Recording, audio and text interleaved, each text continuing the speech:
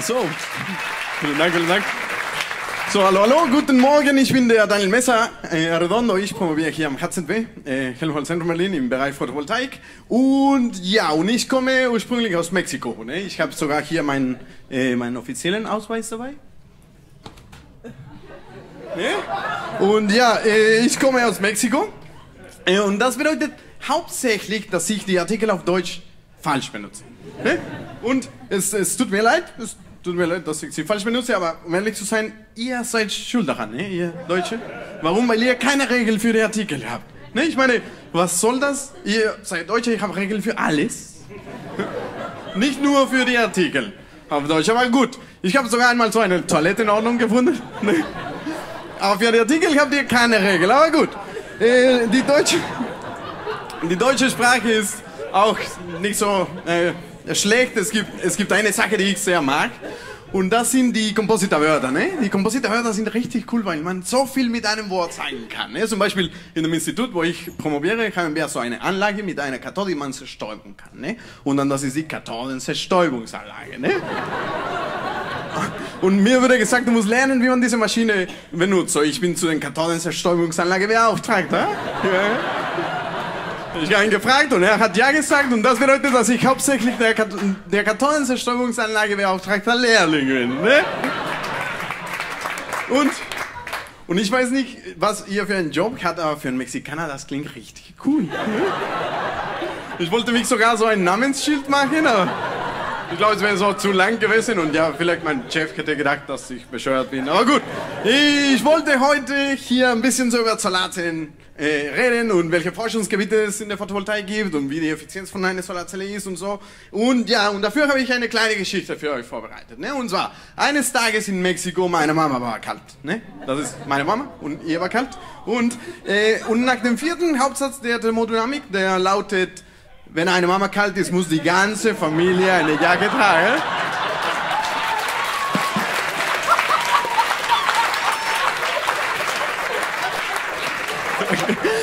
Nach dem Hauptsatz folgt ganz logisch, mir ist kalt, Daniel braucht eine Jacke, ne?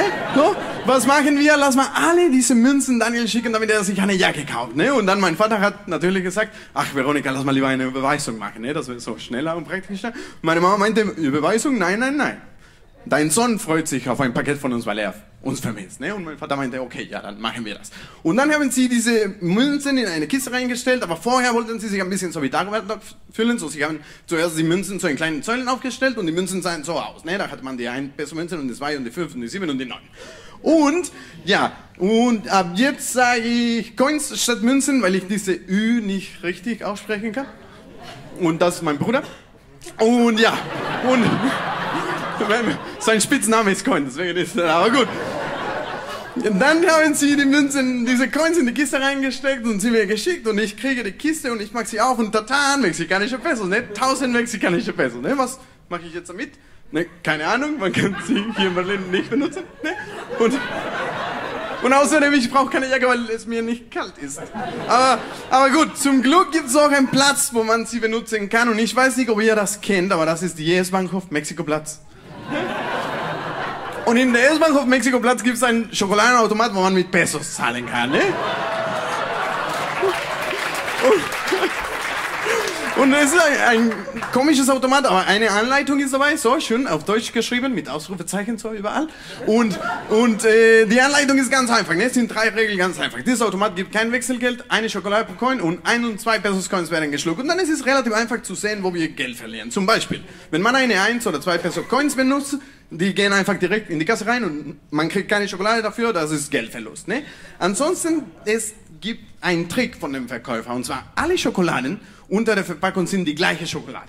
Ne? Und zwar die, die 5 Peso Schokolade. Das bedeutet, wenn man eine 7 oder, oder 9 Peso Coin benutzt, äh, verliert man ein bisschen Geld, weil man eine Schokolade kriegt, die nur 5 Peso wert ist. Ansonsten gibt es noch zwei technische Schwierigkeiten. Es gibt äh, Coins, die nicht so schön rund sind, sondern ein bisschen verborgen und die kann man in die Maschine nicht reinstecken und sie gehen raus und wir verlieren sie. Und manchmal steckt man eine Coin rein und die Coin geht rein und die Feder dreht sich, aber die Schokolade fällt nicht runter, ne? Die bleibt da hängen, so. Oder manchmal so an der Ecke, ne? Und das ist im Prinzip ganz ärgerlich, ne? So, wie man jetzt hängt. Ne? Manchmal bleibt so in der Mitte, manchmal an der Ecke. Und dann die Frage ist, wie viele Schokoladen konnte ich kaufen? Und gut, im Prinzip, ich konnte dann insgesamt 20 Schokoladen kaufen, aber sie sind alle nur 5 Peso wert. Das bedeutet so, 20 mal 5, 100 äh, Pesos. Und das bedeutet, dass ich 10% meines Geldes benutzen konnte. Ne? So, Genitiv, richtig benutzt.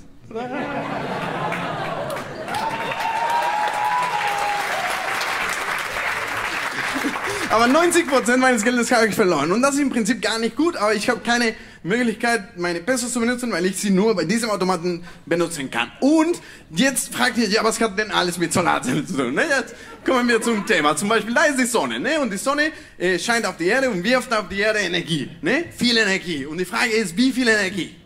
Wie viel Energie? Mehr als genug. Ne? Und die Sache ist, diese Energie kommt in äh, kleinen Päckchen, die wir Photonen nennen. Ne? Und die Photonen, so wie die Coins, haben unterschiedliche Energien. Es gibt rote Photonen, die wenig Energie haben, und so gelbe Photonen und grüne, Energie, äh, grüne Photonen und blaue Photonen, die richtig viel Energie haben. Und die Frage ist, was machen wir jetzt mit diesen Photonen? Ne? Wir könnten uns zum Beispiel hinlegen und bräunen. Ne? Und das wollen wir aber nicht machen. Was wir machen möchten, ist diese Photonen fangen und sie in Elektronen umwandeln ne? und dann Strom von der, von der Solarzelle kriegen. Und äh, dafür, was, wie, was man machen möchte, ist mit diesen Photonen sozusagen Elektronen kaufen. Und dafür kann man so eine Solarzelle benutzen oder sozusagen einen Elektronenautomat. Tada!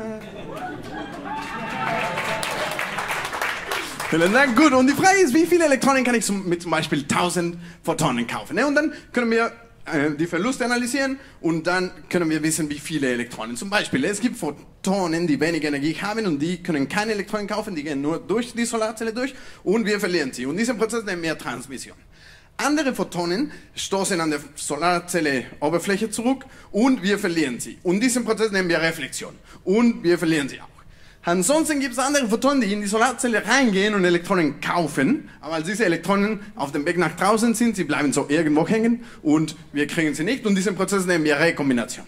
Ne? Und es gibt, hier müsste man sagen, dass egal was für eine Energie die Photonen hatten, sie kaufen immer die gleiche Elektronen. Ne? Und das ist ein bisschen so wie der Verkäufer trägt, dass sie kaufen einfach eine ganz normale äh, Elektron, auch wenn sie hochenergetische Photonen waren. Aber gut, äh, diesen Prozess nennen wir Rekombination. Und dann ein Teil von den Photonen, so zwischen 10 und 25 Prozent, kaufen tatsächlich Elektronen, die wir am Ende äh, benutzen können als Strom. Ne?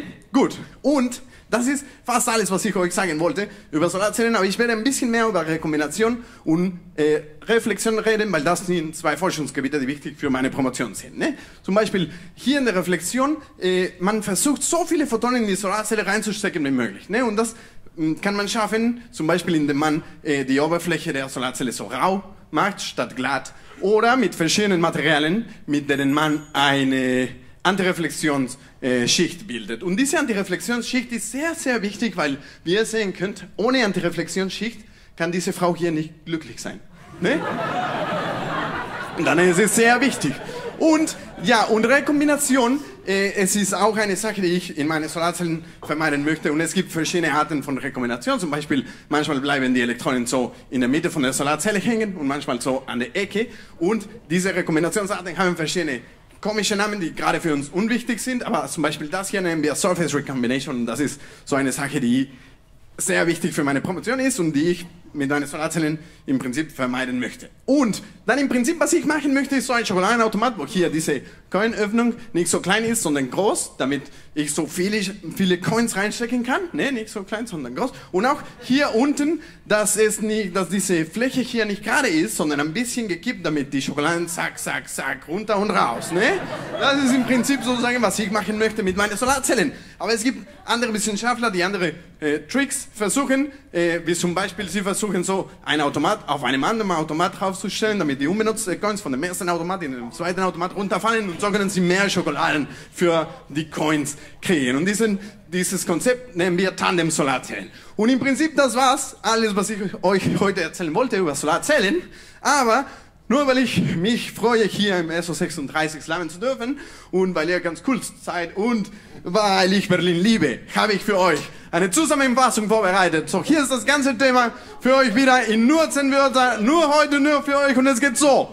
Maximal mögliche Solarzelleneffizienz erreicht man in dem von der Sonne emittierten und in der Solarzellen absorbierte Photonen sich vollständigerweise in nicht rekombinierte durch jegliche Methode Elektronen umwandeln. Vielen Dank.